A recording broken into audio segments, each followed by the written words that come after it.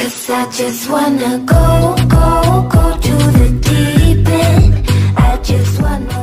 अगर फ्रेंड्स आपके पास सैमसंग का गैलेक्सी A14 है और इस फ़ोन के अंदर अगर आपको फिंगरप्रिंट लॉक सेट करना है या फिर आप नया फिंगरप्रिंट इस फ़ोन के अंदर लगाना चाहते हो स्क्रीन लॉक को सेट करना चाहते हो तो चलिए आपको ये बताएँगे इसके साथ साथ आपको फिंगरप्रिंट की और भी अमेजिंग सेटिंग के बारे में भी बताएँगे तो चलिए फ्रेंड्स बिना टाइम वेस्ट करते हुए इस वीडियो को शुरू करते हैं फ़ोन की जो सेटिंग रहेगी, सबसे पहले इसको ओपन करना है। यहाँ से स्क्रॉल डाउन करके नीचे की ओर आ जाना होगा। आपको नज़र आएगा लॉक स्क्रीन, इस पर क्लिक कीजिए। यहाँ आने के बाद सबसे पहले तो आपको इस फ़ोन के अंदर स्क्रीन लॉक सेट करना होता है। तो यहाँ स्क्रीन लॉक टाइप पर क्लिक करेंगे।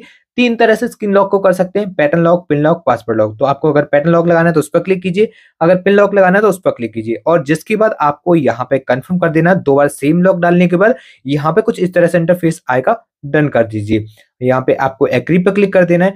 अब आपको यहाँ से आना होगा वापस। एक स्टेप वापस आएँगे तो यहाँ पे देखने को मिलेगा बायोमेट्रिक एंड सिक्योरिटी इस पर आपको क्लिक करना है। जिसके बाद फिंगरप्रिंट लगाने के लिए आपको फिंगरप्रिंट वाले जो ऑप्शन है उस पर क्लिक करना होता है। इसके बाद जो आपका स्क्रीन लॉक है वो आपको सेट करना होगा।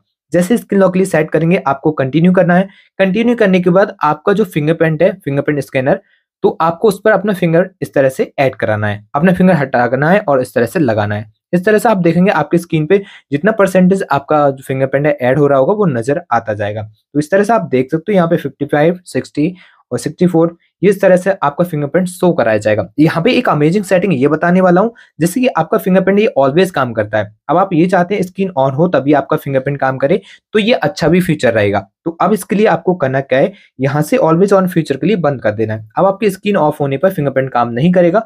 जब स्क्रीन को ऑन कर लेंगे, तब आपका फिंगरप्रिंट काम करेगा। तो ये वाला फीचर आपको ज़रूर से डिसेबल कर देना है, जो कि मैंने अभी आपको बताया था।